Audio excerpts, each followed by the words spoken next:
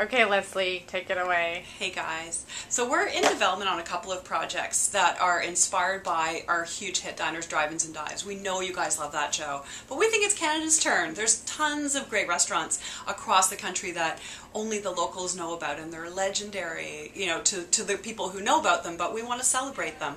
So for example, mine is a place, it's a hot dog stand in Orillia called um, French's Stand, and it's been there, I think, since at least the 20s, 1920s, and Stephen Leacock used to go there. Wow. Has And- the menu changed at all? You, you know what? It's evolved a little bit, but it really hasn't changed that much. And I used to go there when I was a little girl, and now I take my kids there.